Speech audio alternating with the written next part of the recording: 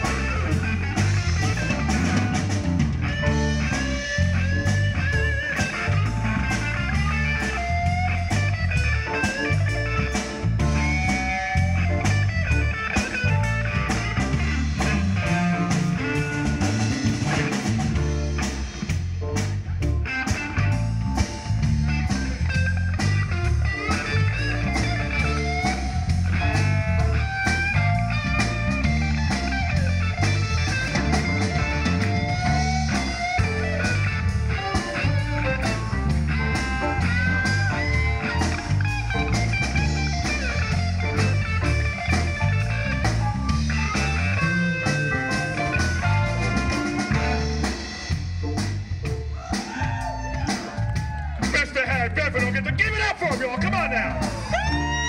Show him some love.